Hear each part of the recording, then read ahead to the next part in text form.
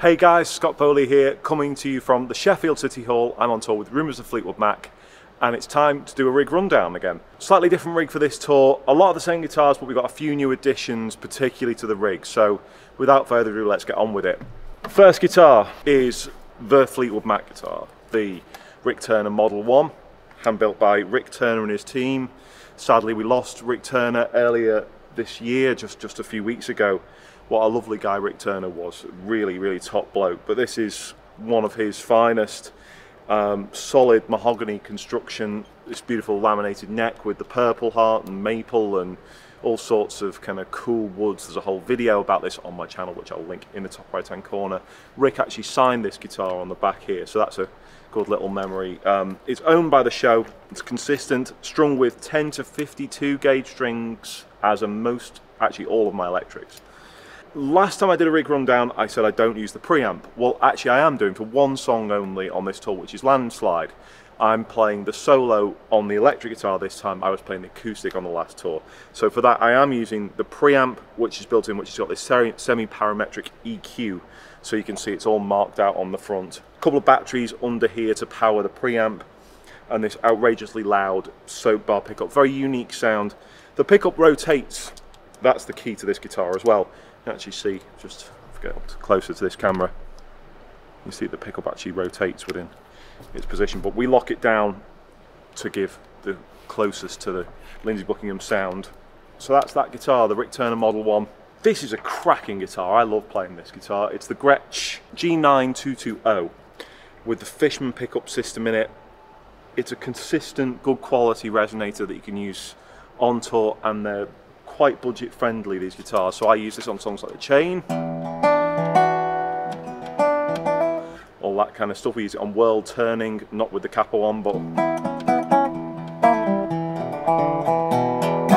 And we use it on Gold Dust Woman with the slide and all that stuff. And I am using this now through a Fishman Jerry Douglas Aura pedal, which gives the most accurate resonator representation through to our sound team. So that's on my pedal board, which I'll show you in a minute. Well, this is a killer guitar. Uh, we replaced the tuners on this. This is strung with Elixir strings. There are 13 set, 13 gauge set, but with a 15 on the top E.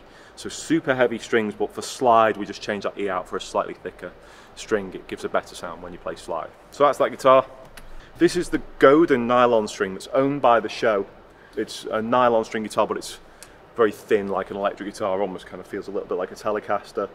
I use this for Big Love and uh, Stevie Nicks song called Rooms on Fire. So that's this guitar, it's got the piezo saddles located within the bridge.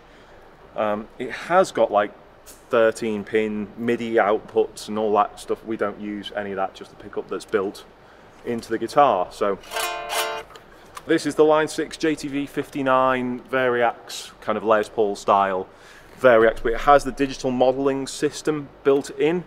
So you can change tunings, and for instance, if you need a strat type sound, then this has it built in on this knob here.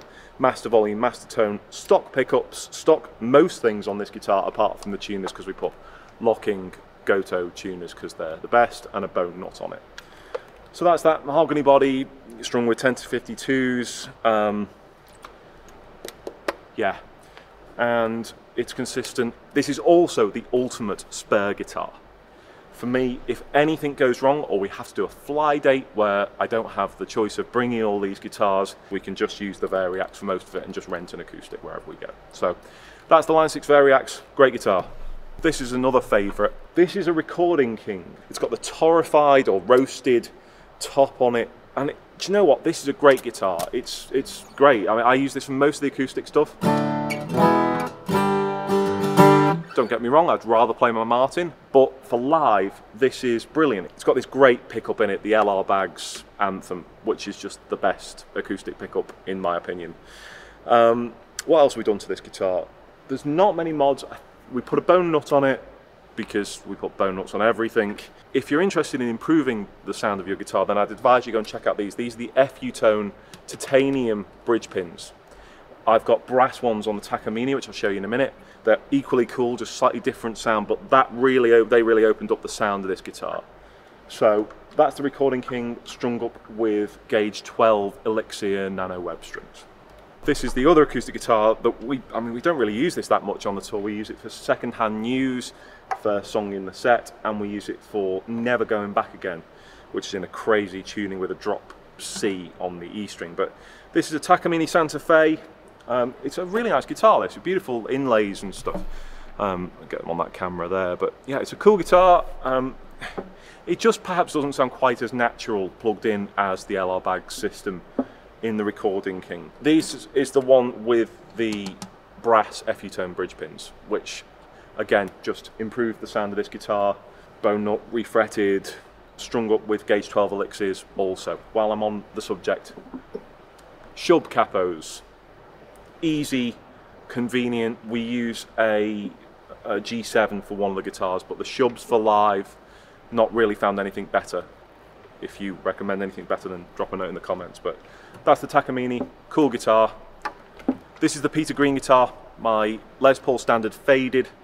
We're trying out some different pickups in this guitar at the moment. And I can't really say an awful lot about them because we're developing them. I had OX4 pickups, Mark Stowe in Oxford, and they're great too, but these, I don't know, I kind of feel like these have the edge at the moment, but we'll see on that one. But they're still the reverse magnet Peter Green style pickups, so they sound great.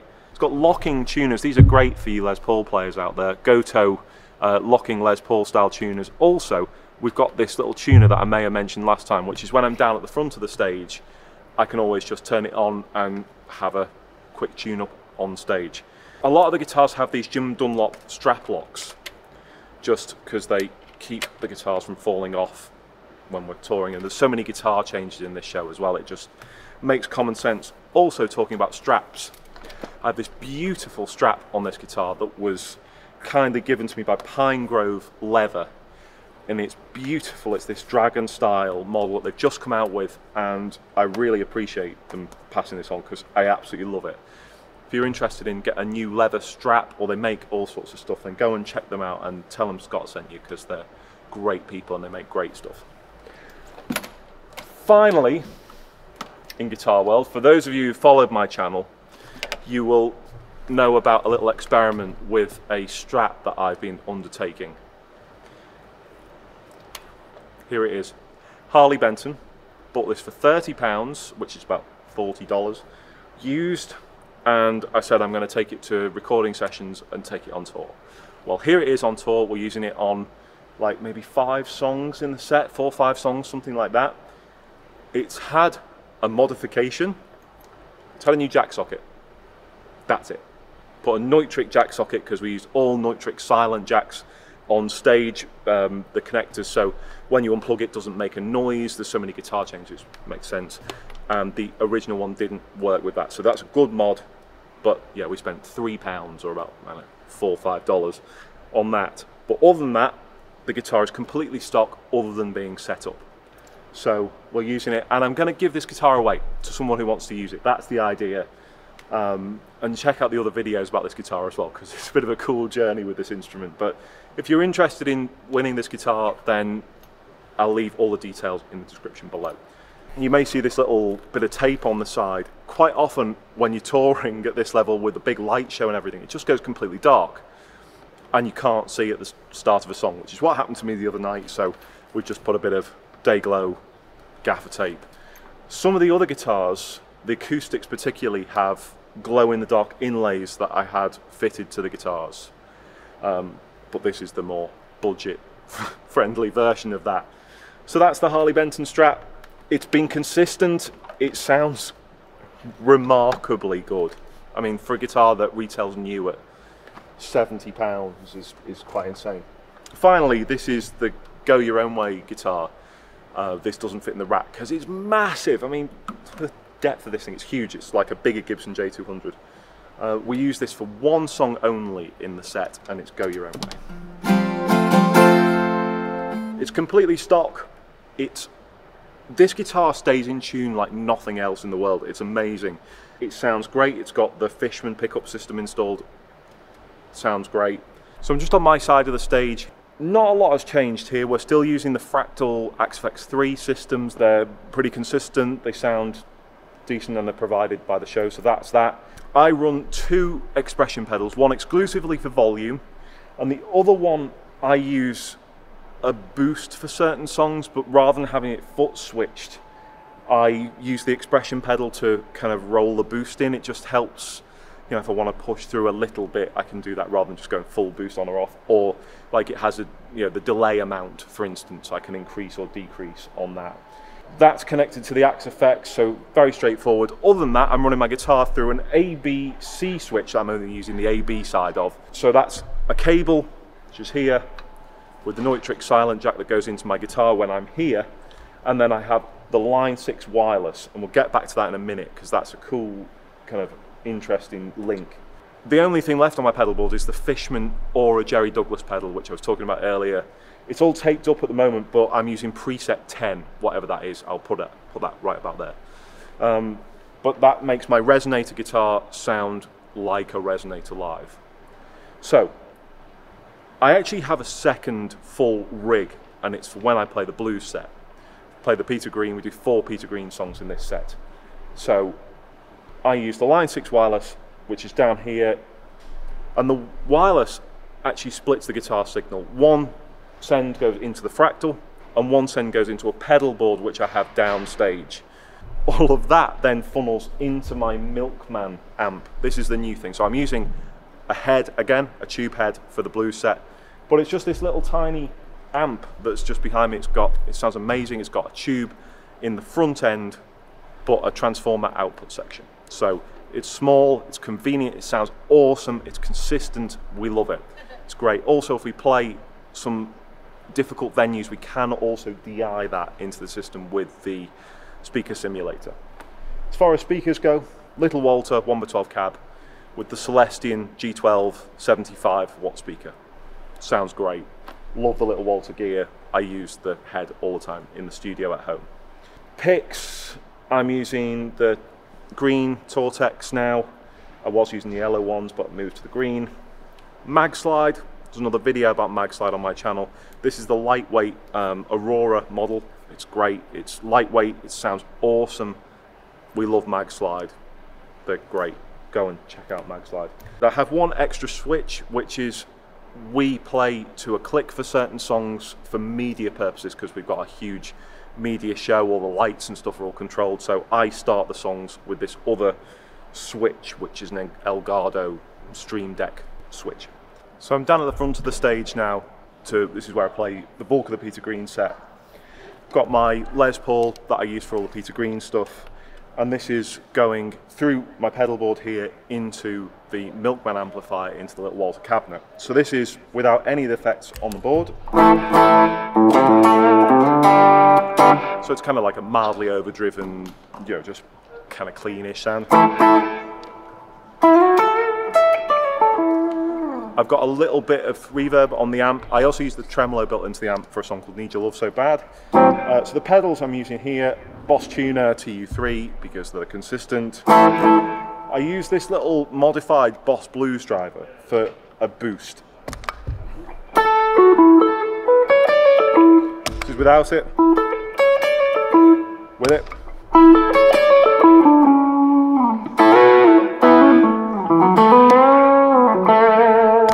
It. So you see it just kicks it up for a solo or something like that. Another pedal I've been actually given to use on this tour and it's working out brilliantly is the analog pedals ATG 828 overdrive. Use this for a song called Green Manalishi. So without it, this is with it. just a nice kind of warm noble style overdrive. Really like that pedal actually, it's been great and the EQ is really really versatile on it as well, so we like that pedal a lot. I can also stack the two pedals together, which is really cool just for the end of Black Magic Woman where we go into a big solo. Using a Line 6 M5 here for a couple of things, particularly for Albatross, I use it to do this with it on few people think I'm miming that and I'm not. I'm using the Line 6 M5 just to give me the harmony part while James Orrell, the guitarist, uses a different uh, plays the other slide part. So, and then I'm using the expression pedal to change the harmony for then back for albatross. I also use it as a compressor for the beginning of Black Magic Woman. So without it, with it. Gives us a sustain, mate. Right, reverb. Wampler faux spring reverb.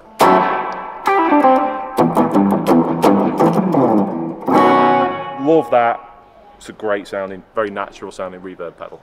I also have the Bright Onion Pedals AB switch. I'm using the cable at the moment. I'm normally on a wireless down here, but just in case anything goes wrong with the wireless, it's always worth having an emergency, oh, the wireless is broken switch, and we have a cable down here. So that's the rig, very straightforward. Rumours of the Fleetwood Mac 2022 rig rundown with oh, the best deck bass player this price point can afford.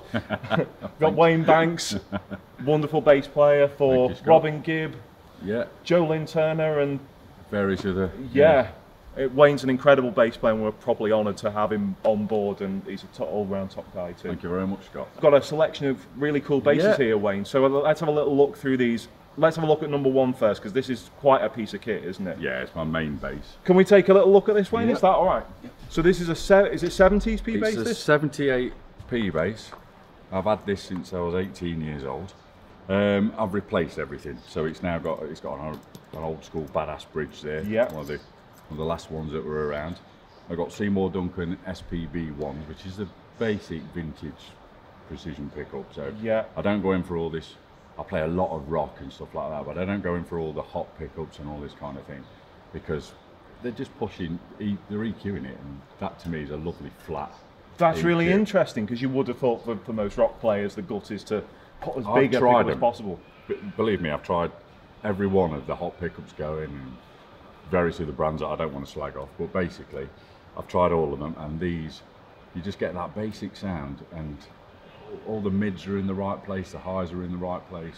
Yeah. You know, some of the ones that are just are vamped up, like the lows are too much, or Yeah. the highs are too. It's, I get it. you lose the soul of it, and I've tried active pickups and everything. I mean, under under here is a is It's a, a, mess. it's a nightmare. It's, yeah. a, it's a rabbit warren of uh, of me trying to experiment. But and uh, just and just basic volume and tone controls on Exactly, this. yeah. So, and you've done the the Billy Sheehan sculpting. I noticed I, on the maple. I did, but strangely enough, we we did that when we were about 18. Yeah. And and we weren't being Billy Sheehan. My friend wanted to be Malmsteen, so Of he course. did his whole strat. And then we, we were going to do the same with my bass, would you believe? Not realising what I'd got in my hands. Yeah. And uh, we got this far and then couldn't be bothered. Because it was too much work. Yeah. And then realised later that Billy Sheehan had done a similar thing. That's and so I was cool. Like, I was like, hey, Maybe he copied it off idea. you. Who knows? yeah, who knows? Um, other things that have been changed, has it been refretted or anything over the It's years? never, it's never been refretted. It's, it, it's been looked at, looked after Yeah. by some great luthiers called Experienced Guitars in Nottingham, who, who do all my guitars. and That's have awesome. done forever. Uh, and and Kat, who works there, she has basically catalogued everything she's ever done to my basses for, for years and years. That's incredible. and so knows the setup on every single guitar to the point where I won't take it anywhere else. It's like, Yeah. unless Kat says it's good, I'm not using it. I have a similar thing on my channel as um, a bunch of stuff with Phil, my guy from. Doghouse Guitar Repairs, who's done. He did a load of setup videos for a for a guitar I've been using on this Hmm. tour, and he's just like, he- knows exactly what I need and where Yeah. my setup is. You find you find that person, and that's it. Yeah, absolutely. So that's the main base, and you're using that for the bulk of the show on this, aren't you? Really? Yeah, I mean, I use it for the bulk of everything. I mean, Yeah. this, this bass has probably recorded about 200 old albums easy. that's you know, amazing. what a piece of kit. and it's I've got the Hipshot on Yeah, there, the Hipshot detuner. Yeah. which is very handy. Oh, I use um, uh, Rotosound strings, and I, I actually use the Billy Sheehan ones because um, because of the, the the gauge really. I like standard gauge strings, but um, he- always said in his adverts that he uh, uses the 110 gauge. So it's a slightly heavier on the bottom. ju- ju- just for the uh, For the drop the drop tuner. And, and I've just got used to them now, and it's set Yeah. up so nice. That, um, That's awesome. they're great, yeah. Great. So that's my main That's the main. What a great bass. Coming to the grave with me bass. Yeah, absolutely. So you've got, I mean, you've got another P bass as well. I understand that Fender, uh, Fender passed on to you recently. They did. They they. I needed another one for the classic rock show, and they just brought out this new player series line. So I asked them, and they kindly gave me one. So That's amazing. The only thing I did is I swapped the pickups for the same pickups I've got in there. Yeah. The SPB ones, because I don't really use this jazz pickup, and it's got all the active stuff in there, which sounds great, but it's just not me. It's not really your I vibe. just like the the consistency that knowing I literally plug this bass in, it's virtually identical to that yeah. one. And is this an American-made one? Yeah, it's American, Yeah. I believe. I think it's a. I Mexican. think it's possibly the one where Yeah. it's yeah, yeah, kind of halfway Yeah. house job. But I mean, have a feel. The, the neck finish is great on it. it's a lovely instrument, nice Yeah. and kind of medium weight. Yeah. Yeah, great. Yeah, this thing weighs a bit more. Yeah. Oh, it's lovely. I would say the only difference is because this is so well played in, the fret it's Yeah. virtually fretless, and it feels great. Whereas, whereas these obviously it's brand new, so it's a bit jumbo frettish. And you tend on. to prefer the maple boards on basses, do you? Yeah, yeah, yeah. just quite a- like that. Yeah, personal preference. Yeah. Yeah, and you use that. You're using that with a drop tuning on this, aren't you? Yeah, so this is, I've got these strings regularly tuned, um, ADG, and this one's a drop C for the. Uh, For the I'm So song. Afraid. I'm so afraid, yeah. Because just studying some videos, it looked like that's what John McVie was doing. So Yeah. I thought, well, it's Great. I've got a. I mean, I could have done it on the on, on the five string I've got here, but it just sounds more like the original with a P bass. Yeah, of course. Well, that's a great bass. Talking to the five string, let's have a little look at that. Yep. So when I was with Robin Gibb, this was my main bass because I needed a five string on that. For those of people who don't know, Robin Gibb, of course, was one of the three Bee Gees. yeah. Yeah. Yeah. Uh, yeah, I played with him for 10 years till he unfortunately passed in 2012, I think it Yeah. was. Um, yeah, so I needed a five. Um, and I got a deal with Ernie Ball and sent me this. And again, Kat, who experienced guitars, got hold of it. We put a brass nut in. Yeah. Uh, I'm not sure why we did that, but we thought it was a good idea at the time. Yeah. it's just, you know. These things you do to guitars. Exactly. Uh, and this is a great bass, and I've just used this on a. I've just been on a European tour with a band called Holy Mother, a metal band. Yeah. Uh, and I used this all the way through. So Yeah. because that again needed a five string, and it's a five string music man. It's great. Yeah, it's what you need, and it's got the, the kind of Yeah. the old black aesthetic and the, Exactly, the yeah. whole thing. Pickups are all original, and the, I mean it's pretty much a stock yeah, bass, it's isn't just it? Just a stock bass. I don't, you know, why why change it? Yeah, that's great. I mean, you've got this is active, and you've got that much coloration in all this, but again, everything's flat. What do really. this? What does the switch do on a Music Man? I- I so never- I believe this one takes it. If you want it to sound more like a jazz bass, you go there. Yeah. If you want to sound it more like a precision bass, you go there. right. And that's probably somewhere in between. So it's kind of series parallels and coil taps. Exactly, things, yeah. these things that I never get into. you Yeah. know. And other than that, um, obviously we're using it for Rooms on Fire. Yes. Which sounds quite five string jazz bass to me. Yes. So that's why I've got it on that setting, and the rest of the EQ's flat. Great. So- uh, awesome. It's a great sounding bass. That I like. It's a lot. Yeah, it's lovely to play as well. Yeah. I'm not a huge five string man, but When know, you do, that's, that- yeah, that's the this thing. is the one. Yeah. And finally, you've got a fretless bass that you've been pulling out for this, haven't you? And Well, this, certainly looks like it's been modified quite a lot over the years. Well, this, I, I went to Australia when I was about 26. After a band I was in split up, and uh, we were like, ah, you know. Yeah. So we had a year out, went to Australia. Uh, I needed a bass. I had a deal with Fernandes at the time. Right. Who, who got, and I took one of those. I can't travel anywhere without a bass, so I took this Fernandes five-string bass with me, which is great. It got stolen after a gig, you know, because uh, uh, in uh, Brisbane, I think I was. So it's still somewhere in the Brisbane area. I've never found it. So look out for a five-string Fernandes. In Of course, it's black. Yeah. It looks just like that. and uh, yeah, so I, I went down to a music shop. I didn't have much money, and they got a fretless Yamaha RBX there, and it was black at the time. And uh, they wanted virtually nothing for it because nobody wanted a fretless at that time. And I was like, well, great, I'll have that. And Happy days. so then, really exclusively for about two years, I played fretless, Oh, wow. and um, it was great for getting that together. Now, over the years, I've swapped everything out, of course. Yeah. Uh, and this has now got some DiMarzio willpower pickups in, which I did try in the in the P bass, and it just didn't work. Not with the quite bass. So I thought, well, I've got to put them somewhere. So Yeah. I put them here, and it, it works well. It It's- sounds really different. balanced and lovely. Are you using flat wound strings on the I am. This, these are Rotosound jazz bass strings. Right. Yeah. And tell me about this big bad boy here. Well, this was in the days of trying to be Billy Sheehan. This was the EB-0 pickup that used to be in that bass when I Billy Sheehan Yeah, in bass. the front in the front position. Yeah. and that used to have a tremolo on it, and it used to be uh, yeah, it's the, the Kahler tremolo, and it used to have the, the dual output thing. So this is way back in like 1992, you know. Um, you know, That's so cool. that fad lasted and it went, you know, uh, and then realised I had to become, you know, I mean, Billy's Billy, he's got the Yeah. Billy jobs. Of know. course. So, uh, so anyway, yeah, so that just became, I need to make that a Yeah, yeah, bass. back to a P bass. So yeah. this hung around doing nothing for a long time until this year on the Classic Rock Show tour, we were doing uh, Black Velvet, Oh yeah. and that needed a more of a, a jazz bassy kind of sound because I don't think it's actually a real bass on that. I think it's a synth bass. Yeah, it's got, but it sounds almost like the Jaco back position thing, it does. doesn't it? Yeah. It does. Yeah. So, and I didn't have one of them, but I had this line around. So I went over again to Kat at Experience Guitars and says, "Can you do anything with this?" And and, uh, and she went, "Yeah," and put it there. In it went. And in it went. And uh, when I just played that just on its own, I'm not using that for this gig, but um, but yeah, it's got a really nice. It's like a jazz bass, but slightly warmer. Yeah. So it's just different. I can So understand that. And you've got, so is this volume tone again, or is this two volumes? Just two volumes. Yeah. No, no tone. No tone. on. So for this gig, because you know John McVie, he, he's playing a fretless, but it's not in that traditional fretless way. It's more like you can't tell it's a fretless. No, of course. um, which is actually harder to do. I Yes. believe. um, uh, I'm just using the, the, the P pickle. Okay, and, and what a lot of people don't know is that John McVie used a fretless on the chain.